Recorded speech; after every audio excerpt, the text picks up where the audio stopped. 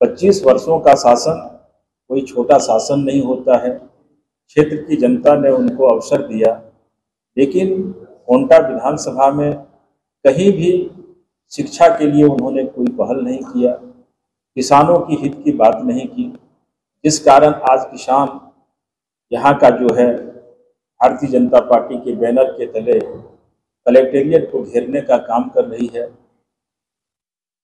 भ्रष्टाचार बढ़ा है। सरेआम वो लोगों के साथ शराब पीने और पिलाने की बात करता है। बीड़ी तक लोगों के साथ पीता है और यहाँ की जनता को भयभीत करने का काम करता है। जब चुनाव आता है तो लोग उससे सहमे भी होते हैं क्योंकि उसकी आपराधिक जो छवि है, उससे जनता के अंदर एक ऐसा वातावरण बना हुआ है कि जनता उससे भयभीत है। यहाँ का जो विधायक है, मंत्री है, अब आप बताइए कि उद्योग मंत्री रहने के बाद भी नक्सल प्रभावित इलाका है, लेकिन नक्सलियों को मुख्य धारा से जोड़ने के लिए उन्होंने एक उद्योग की स्थापना नहीं की। और जब उद्योग नहीं होंगे, कल कारखाने नहीं होंगे तो कैसे लोगों को रोज़गार मिलेगा? नक्सली कैसे अपने विचारधारा को छोड़ के दूसरे तरफ़ मुखातिब होंगे। उद्योग लगने से निश्चित रूप से उसमें रुकावट आती और वैसे लोग जिनको जो इन धारा से जुड़े हुए हैं, वो समाज का एक अंग बन के अपने बच्चों को आगे ले जाते पठन पाठन कराते। और जब अपनी सरकार थी तो बहुत वैसे नक्सलियों ने भी समर्पण किया है। मुझे कहते हुए अपार हर्ष हो रहा है। कि आज उसके बच्चे अच्छे स्कूल में पढ़ रहे हैं। और आज केंद्र के द्वारा जितनी भी योजनाएँ हैं, इस सरकार ने सब बंद करा दिया है। चौकदर से पहले तीन प्रदेशों का नाम होता था विकास के एक प्रतिबिंब के रूप में। आप गुजरात की बात करें, आप छत्तीसगढ़ की बात करें, आप मध्य प्रदेश की बात करें, इनको विकास के नाम से जाना जाता है गुजरात मॉडल के आधार पर हमारे देश के प्रधानमंत्री जो अभी नरेंद्र मोदी जी हैं, उन्होंने प्रधानमंत्री पद धारण करने के बाद एक यशस्वी प्रधानमंत्री बनने का जो गौरव किया, हासिल किया और पहली बार लाल किला से उन्होंने शौचालय निर्माण की बात और शौचालय निर्माण की जब बात उन्होंने किया तो देश की जनता ने काफ़ी सराहा, लेकिन तमाम विपक्षी पार्टियाँ जो थी, उन्होंने इसको मज़ाक के रूप में लिया। लेकिन मैं कह सकता हूँ कि मैं जिस प्रदेश से आया हूँ, आज वहाँ झारखंड प्रदेश शौचालय से ओडीएफ हो गया है। आज बताइए, छह साल की मासूम बच्ची जो क्लास दो की छात्रा थी, उसका तीन दरिद्रों ने बेरहमी से उसका बलात्कार किया। यहाँ का विधायक, यहाँ का मंत्री एक शब्द नहीं बोला। और आज तक उस मासूम बच्ची के साथ न्याय नहीं हो पाया है। एक अपराधी जो पकड़ा गया है, सुनते हैं कि वो अपराधी नहीं है, लेकिन मुख्य अपराधी जो है, आज भी यहाँ के विधायक और मंत्री के संरक्षण में खुलेआम घूम रहा है। इसलिए छत्तीसगढ़ का विकास तभी होगा जब अपनी भारतीय जनता पार्टी की सरकार बनेगी। तो लोग भाजपा की ओर मुखातिब हैं। भाजपा को चाहते हैं कि यहाँ से जीते छत्तीसगढ़ में भाजपा की सरकार बने और निश्चित रूप से मेरा ऐसा मानना है, इस बार सारे कार्यकर्ताओं ने कमर कसा है और जनता की भी ये सोच है कि परिवर्तन हो और निश्चित रूप से कोंटा विधानसभा भारतीय जनता पार्टी जीतेगी, क्योंकि यहाँ अपराध चरम सीमा पर है। यहाँ क्या नहीं घोटाला हुआ? रेत का घोटाला हुआ, कोयला का घोटाला हुआ, चावल का घोटाला हुआ, दो हज़ार करोड़ दारू का घोटाला हुआ और किसने किया? ये आप भी जानते हैं। यहाँ के जो मुख्यमंत्री हैं, उनके सलाहकार रोज ईडी के दफ्तर का चक्कर लगा रहे हैं। रोज उनके यहाँ ईडी का छापा पड़ रहा है।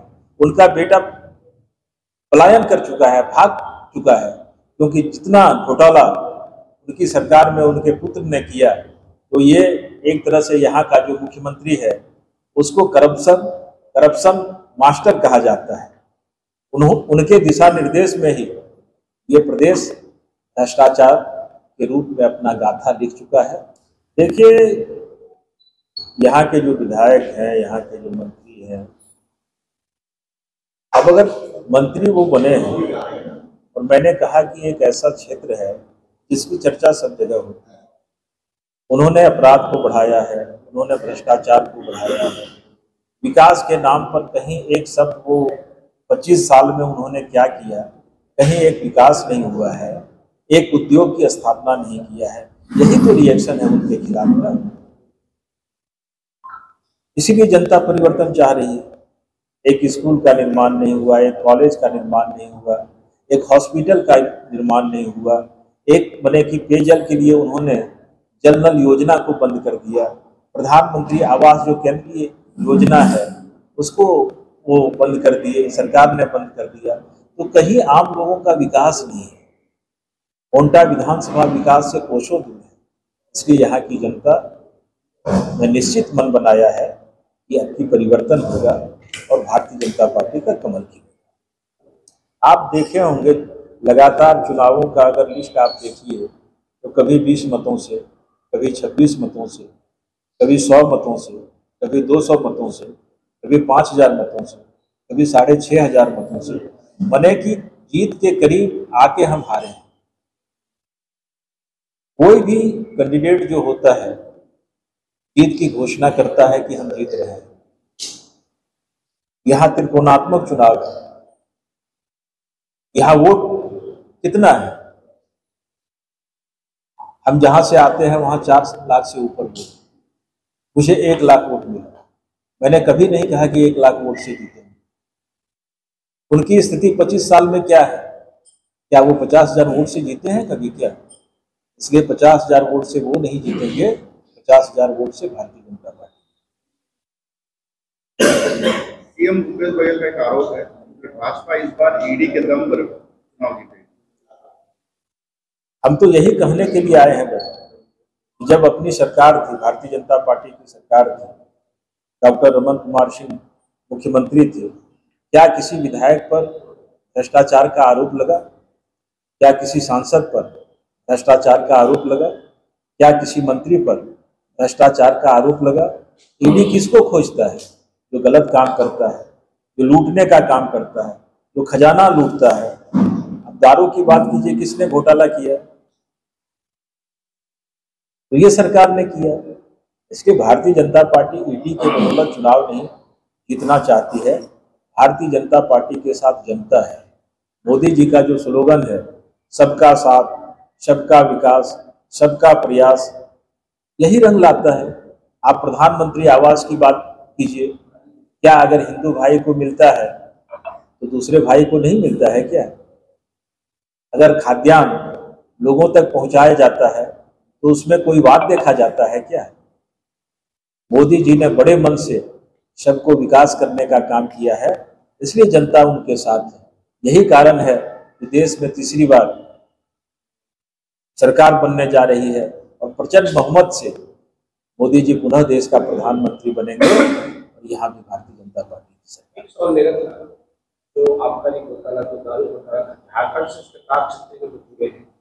क्योंकि आप झारखंड से बिलोंग करते विधायक है देखिए, अभी पूरी तरह से गैर भाजपाई प्रदेश में सारे लोग बंगाल सरकार के इशारे पर काम करते हैं। और सभी लोगों का नेता ममता बनर्जी ममता बनर्जी से ये लोग गाइड है। हमारे झारखंड की जहाँ तक बात आपने किया अभी जो सरकार है, हेमंत सोरेन की सरकार, रोज वो भी ईडी का चक्कर लगा रहे हैं। उन्होंने माइंस अपने नाम से लिया है, अपने परिवार के नाम से लिया है। और वो सरकार भी परिवारवाद को बढ़ाने का काम किया है। वहाँ भी रोज आदिवासी बालाओं की हत्या हो रही है, उसका अपहरण हो रहा है, उसका बलात्कार हो रहा है। और वहाँ भी दारू घोटाला हुआ है, जिस प्रकार छत्तीसगढ़ में हुआ है। चोर चोर मोसेरा भाई है। दोनों एक रूपता का प्रतीक है। इसलिए झारखंड में भी अपनी सरकार जो है, वो कब जाएगी कहना मुश्किल है। आपको पता होगा जब रघुवर दास जी की सरकार थी, नक्सल समाप्त हो गया था। प्रधानमंत्री कहीं भी जाते थे, वो कहते थे, विकास अगर देखना है तो झारखंड जाइए, जहाँ विकास दिखता भी है और विकास बोलता भी है। लेकिन आज वहाँ भी बालू के लिए किल्लत हो रहा है। लोगों का प्रधानमंत्री आवास नहीं बन रहा है। और आप लोगों को बताते हुए हर्ष हो रहा है कि किसानों के हित में मुख्यमंत्री आशीर्वाद योजना वहाँ चलाया गया था। एक एकड़ वाले को पाँच हज़ार रुपया, दो एकड़ वाले को दस हज़ार रुपया, तीन एकड़ वाले को पंद्रह हज़ार रुपया, चार एकड़ वाले को बीस हज़ार रुपया और पाँच एकड़ वाले को सालाना पच्चीस हज़ार रुपया दी जाती थी। वैसी योजनाओं को बंद कर दिया गया है। जहाँ जहाँ भी यूपीए की सरकार है, वो यूपीए की सरकार घोटाले में लिप्त है, भ्रष्टाचार में लिप्त है। जनता के साथ इनका कोई सरोकार नहीं है। लुभावने वादों के साथ सरकार आई। हमारे यहाँ तो बेरोजगारी भत्ता पाँच हज़ार से सात हज़ार देने की बात की गई थी। एक भी बेरोजगारों को आज तक भत्ता नहीं दिया गया है। इसलिए मैं कह सकता हूँ कि छत्तीसगढ़ और झारखंड एक रूप से चल रहा है। यहाँ भी सरकार जाएगी और वहाँ भी सरकार जाएगी।